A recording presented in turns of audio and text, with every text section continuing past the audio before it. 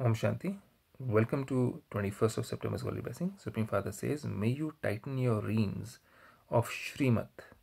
And that rein of Shrimat is consider yourself to be a soul and remember me alone. And thereby control your mind with the awareness of being a master and a child both. I am a child of Creator, so I am also the master of his property. His property means love, peace, purity, knowledge, bliss, divine virtues, and powers.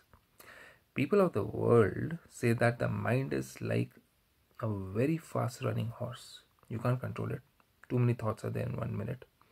It's difficult to stop them. That's what people of the world say. But your mind cannot run around here and there. Why? Because your reins of Shrimat are very strong. What is that?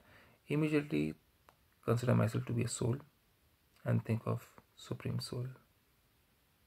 When your mind and intellect become engaged in looking at sight scenes, what is happening in his life, what is happening in her life, what are they doing, what is she doing, what is happening in the world, and when we stop focusing on ourselves and we start looking around, your reins become loose and you and so your mind causes mischief. It jumps from one topic to another, another topic to another, another topic to another. Therefore, when a situation arises or when your mind causes mischief, what do we do? Tighten your reins of Shrimat. Concentrate on self being a soul. And you will reach your destination. I am a child and a master. With this awareness, you can become one with the right to control your mind. Om Shanti.